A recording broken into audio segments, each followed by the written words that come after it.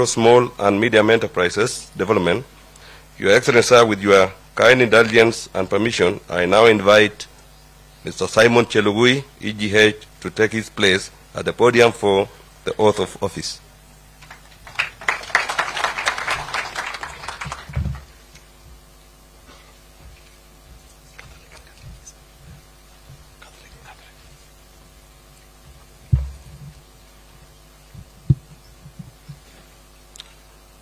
I, Simon Kiprono Chelugui, being appointed a Cabinet Secretary of Kenya, do swear that I will at all times be faithful to the Republic of Kenya, that I will obey, respect, and uphold this Constitution of Kenya and all other laws of the Republic, and I will well and truly serve the people and the Republic of Kenya in the office of the Cabinet Secretary.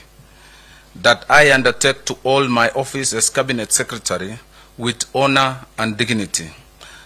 That I will be a true and faithful counselor to the President for the good management of the public affairs of the Republic of Kenya.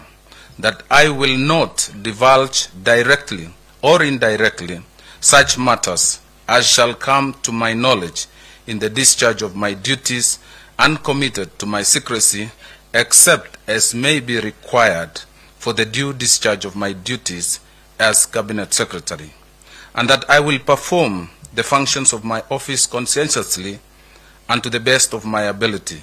So help me God.